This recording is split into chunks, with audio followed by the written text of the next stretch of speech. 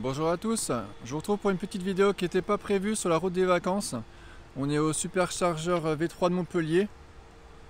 Il y a 16 ou 18 stèles en, V3 en 250 kW. Donc quoi qu'elle est occupée, euh, pas tout à fait à moitié.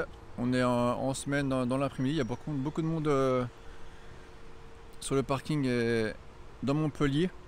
Je vous fais une petite vidéo parce qu'on est descendu de Besançon pour l'autoroute euh, vraiment euh, très très bonne surprise au niveau de l'autonomie de la voiture. Euh, bah, le trajet il pourrait tout simplement se faire en un seul arrêt à Vienne. Je vous montre un petit peu la console qu'on a fait. Donc on est parti de Besançon ce matin, ça serait les mêmes stats hein, depuis Dijon. donc on aura 600 km à faire, il nous reste 50 km. Et on voit la consommation 154 Wh au kilomètre.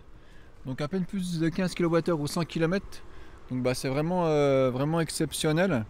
Euh, en fait, ben, on pouvait euh, partir de Besançon, s'arrêter à Vienne euh, à 20-25%.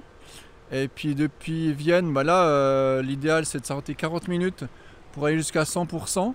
Et là, on pouvait directement arriver sur cette hague de Marseillan avec à peu près 10% de batterie. Donc franchement, largement plus de 300 km d'autonomie avec notre, notre SR ⁇ euh, donc euh, je vous rappelle, hein, le pack batterie 60 euh, kWh, donc comme les propulsion 2022, hein, c'est une licorne. Donc voilà, j'ai pas prévu de vous faire une petite vidéo, mais franchement, j'ai vraiment été bluffé. au départ, il me proposait un arrêt sur Montélimar pour faire des petits compléments. Alors certains vont me dire que c'est pas top hein, de charger à 100%, mais en fait, bah, nous à Vienne, 40 minutes, c'est le temps qu'il nous a fallu pour manger les sandwichs. Et on est arrivé, ben, il y avait une place sur deux qui était disponible, donc on ne gênait personne. Et quand on est parti, il y avait une place de disponible, donc on a laissé la, place. Mais voilà, euh, Besançon ou Dijon pour descendre euh, à la mer avec une SR, ben, c'est possible en un seul arrêt. Donc euh, franchement, vraiment, c'est super. Vous voyez, une console de 15. Donc là, je vais vous filmer un petit peu la, session de charge. Donc restez jusqu'à la fin de la vidéo. Là, je vous mets quelques images avec de la musique sur la, la puissance de, charge de la voiture.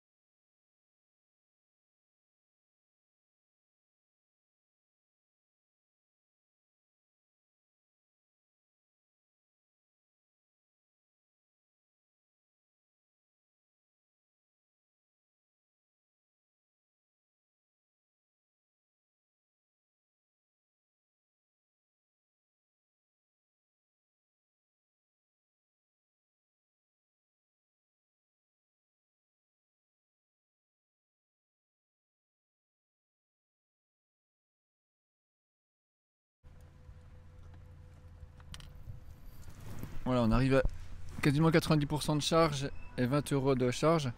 Donc là, c'était un arrêt qui n'était pas obligatoire. Hein. Simplement, c'est qu'à destination, je n'aurais pas vraiment de solution de recharge euh, optimum.